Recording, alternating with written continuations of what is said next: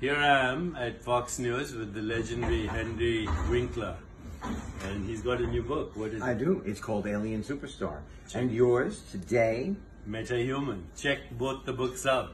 Superstar, yes, Alien Superstar. Alien Superstar, Metahuman. Actually, they're synonymous in a I'm way. very, very happy to stand next to this man. Legendary Henry Winkler.